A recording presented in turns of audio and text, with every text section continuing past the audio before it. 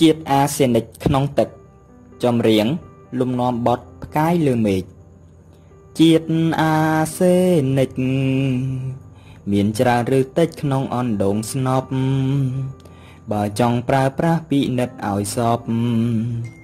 លើអណ្ដូងស្នប់លាបពណ៌ចំណាំ លើអណ្ដូងស្នប់លាបពណ៌ចំណាំបើលាបបៃតង នោះទឹកអណ្ដូងមិនមានបញ្ហា យើងអាចដាំស្លប្រើប្រាស់តាមការ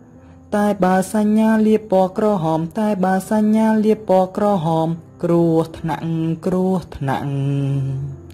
អាសេនិកលាក់ខ្លួននៅក្នុងទឹកមើលមិនឃើញទេមានច្រើនសន្ធឹកមិនអាចយកផឹកទោះបីជាដាំមិនអាចយកផឹកទោះបីជាដាំបើផឹកកាលណា នឹងមានបញ្ហាកើតមហារីកជំងឺក្រិនស្បែកខូចខាតសុខភាពជាតិអាសេនិកគឺជាបិសាចជាតិអាសេនិកគឺជាបិសាច